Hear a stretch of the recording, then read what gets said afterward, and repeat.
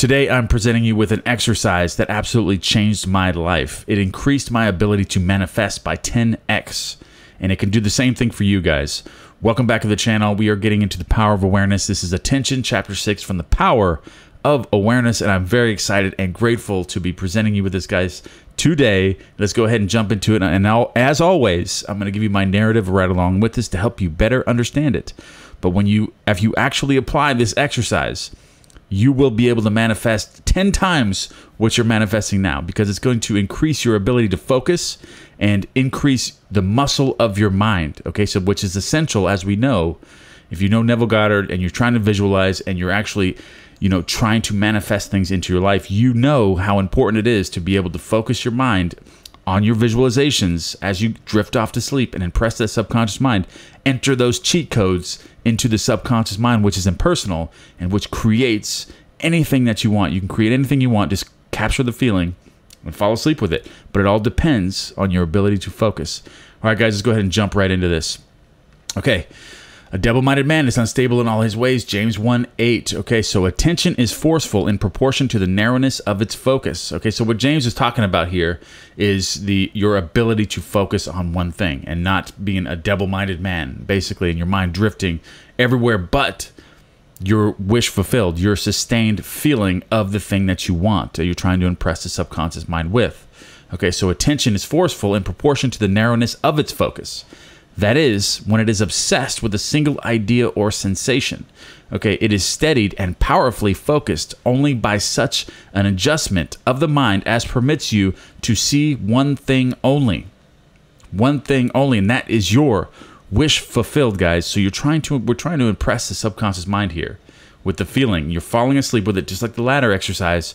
You're climbing that ladder, you are falling asleep with the feeling of climbing a ladder, okay? The feeling of climbing a ladder, it's gonna happen. So you can use this to create $3 million, a million dollars, a hundred thousand dollars, a new relationship, anything that you want. So it all comes down to the development of the muscle of the mind, okay? The muscle of the mind, you can create anything by hacking the system, by entering a cheat code into the subconscious mind, by tricking it as if you already have something. So it, the subconscious mind is impersonal, so it only knows what you tell it through your feelings so you can come up with any feeling that you want. Anything that you absolutely want in your life, you can just find the feeling, visualize it in your mind. It's easy. It's simple once you can develop the muscle of your mind. And that's what we're going to go over, guys. So stay with me here. All right.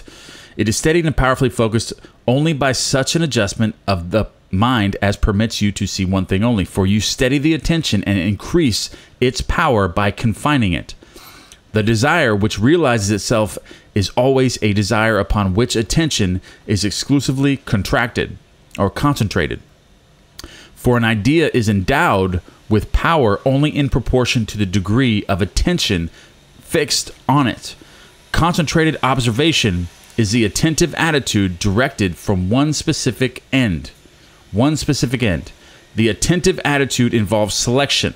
For when you pay attention, it signifies that you have decided to focus your attention on one object or state rather than another. Therefore, when you know what you want, you must deliberately focus your attention on the feeling of your wish fulfilled until that feeling fills the mind and crowds all other ideas out of consciousness. So, when you're going into your imaginal act, observe your thoughts as you're trying to sustain the feeling and visualize and notice the the other ideas and thoughts that are coming in your mind. You have to get rid of those by implanting and focusing on that new that new desired state or that new thing that you want. Whatever you want to be do or have create that feeling and then wipe any other sensations out okay? Get rid of them. And also comes down to the development of that mind that muscle of the mind. Okay so the power of attention is the measure of your inner force the power of attention is the measure of your inner force. Okay, so concentrated observation of one thing shuts out all other things, okay, and causes them to disappear. So once you have that developed, controlled mind where you're actually laser focused on your new conception of self or the thing you're trying to manifest, everything else will disappear. Everything else will disappear and everything else will be shut out of your mind. Okay, so the great secret of success is to focus the attention on the feeling of the wish fulfilled without permitting any distraction. Here it is, guys. This is what I've been emphasizing for such a long time. We're, we're getting into this. It's perfect. The great secret of success is to focus the attention on the feeling of the wish fulfilled without permitting any distraction. And that comes to the developed muscle of the mind. All progress depends upon an increase of attention. The ideas which impel you to action are those which dominate the consciousness, those which possess the attention. The idea which excludes all others from the field of attention discharges in action. This one thing I do, forgetting those things that are behind, I press towards the mark. Okay? Philippians, this is told in the Bible, explaining this to us a long time ago. All right, so this is Philippians 3:13 and 14. This means you, this one thing you can do, forgetting those things which are behind.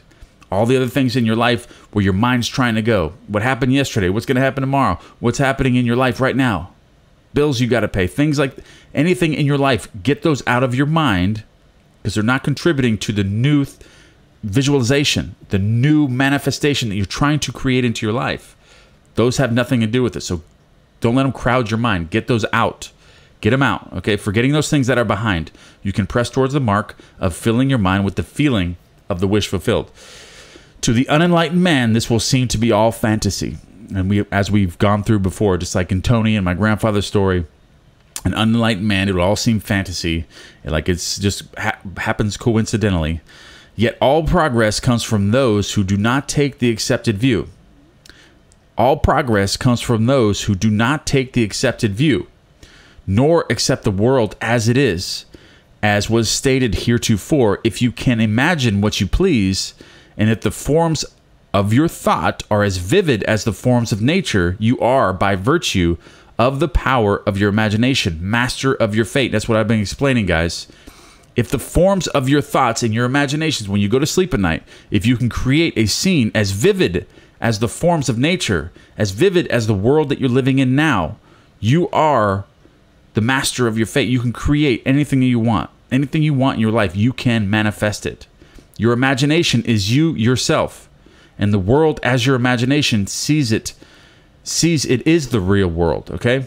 So if you imagine something in your mind and it's just as real as this world it's going to happen because your belief systems okay? So for example if something were to happen to you right now in your 3D world that's going to dovetail into your following days okay that's going to move you and you're going to believe what's going to happen from that because it was real to you so if you can create your imaginal acts to be as real as your 3D world right now is, then it has no choice. It doesn't matter if you believe it.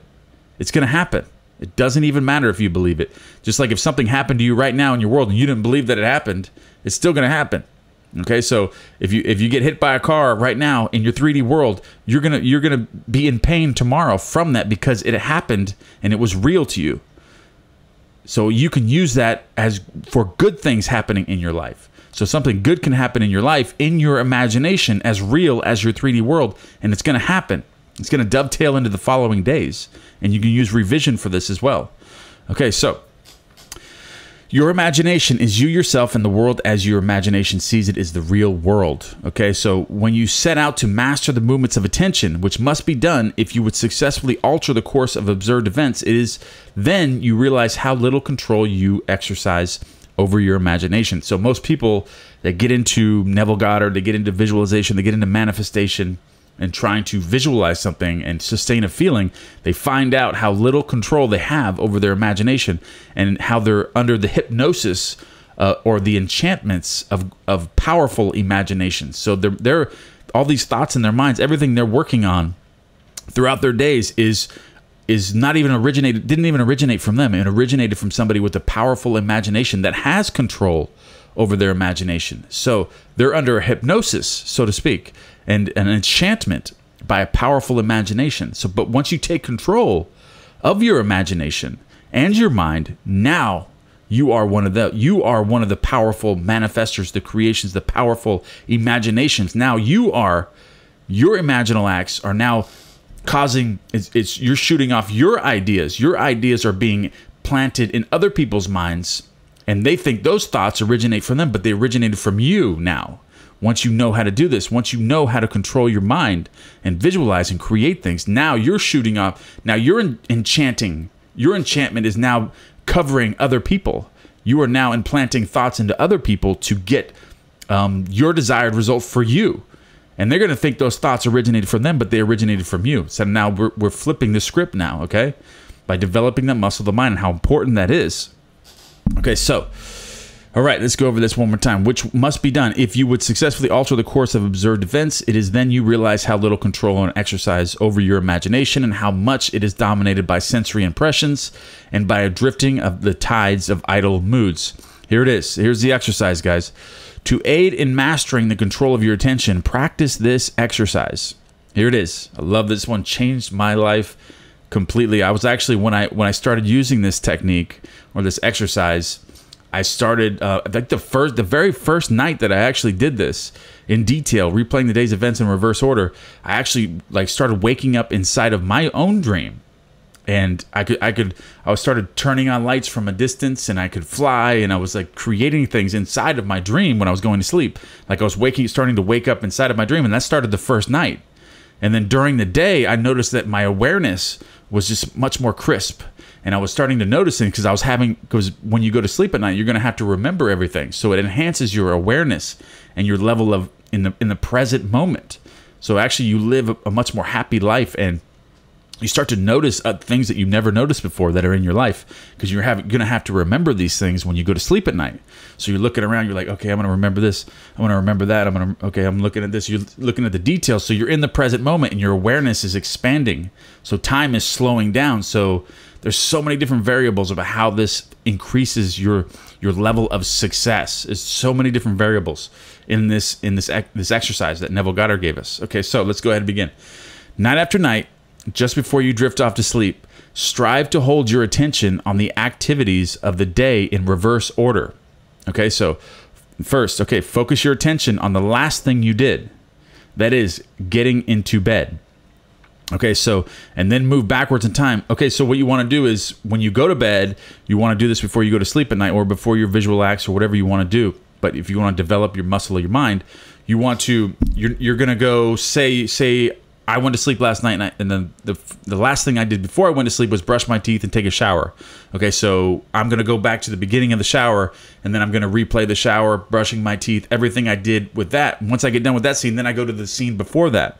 Say I was eating dinner, or I was exercising at the gym, or I was doing, um, and then I want to you want to remember exactly what you were eating. You want to who you were sitting with, um, what exactly, where was your food on your plate, what conversations did you have. Try to get as detailed as possible with this, and then after you're done with that scene, move to the the one before that, and then play it forward, and then go to the one before that, then play it forward, just like that. So that's what he's explaining here. Okay, so night after night, just before you drift off to sleep, strive to hold your attention on the activities of the day in reverse order focus your attention on the last thing you did, that is getting into bed. Okay, and then move it backwards in time over the events until you reach the first event of the day, getting out of bed. Okay, so this is no easy exercise, but just as specific exercises greatly help in developing specific muscles, this will greatly help in developing the muscle of your attention. All right, so the first time I did this, I I mean I couldn't get really detailed, okay? I couldn't get really, really detailed and it was frustrating for me to know how much um, control that I didn't have over my mind and my imagination, and how much control I didn't have over my experiences during the day because my awareness of remembering everything that happened wasn't vivid at all. It was I couldn't remember that much of it. So it only took me like five or 10 minutes the first time I did it. So the next day, I started being more aware and focused on things that were happening to me throughout the day.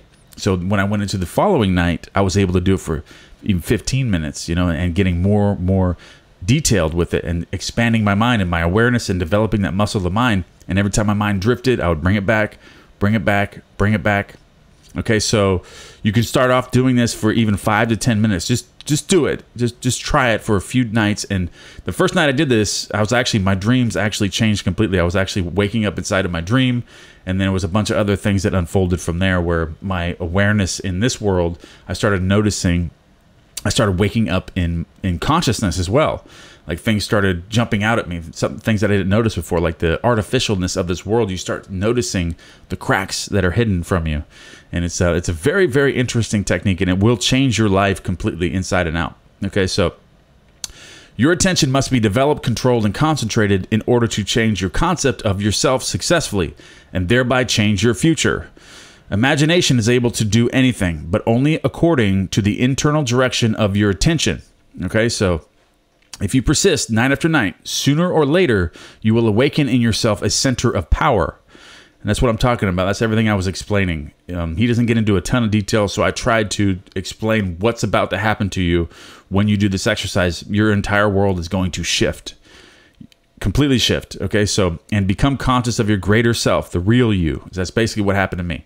It made me um, basically become more conscious and more conscious of my greater self, the real me. Okay, attention is developed by repeated exercise or habit. Through habit, an action becomes easier. It's because you're building momentum. Okay, so this is what he's saying here through habit, and then you're building momentum, and everything becomes easier at that point. Exercising, visualizing, manifesting, making money, um, relationships, careers, jobs, anything in your life. You build the momentum of habit, and then it becomes easier. And so, in course of time, gives rise to a facility or a faculty, which can then be put to higher uses. When you attain control of the internal direction of your attention, you will no longer stand in shallow water but will launch out into the deep of life. You will walk in the assumption of the wish fulfilled as on a foundation more solid than even earth. All right, guys, I hope you guys enjoyed this. I know it was a, a long video here, but I, I really wanted to get into these and um, and give me one thing you guys are grateful for. And I also want to let you know that I'm going to put the link below to the Neville book. If you if you are not signed up in the Neville book, it is free to join. We it is the Neville Goddard community in the Mighty Networks and I'm going to put that link in the description. Go check it out. We're all we have different groups in there. There's courses in there. There's you know um, we haven't done any live chats yet, but that or live events, but we are going to pretty soon. I'm getting all that developed now, but um, it's fairly new. And if you don't know about it, go ahead and click the in the the link in the description right below. I'm going to put it in the first column there.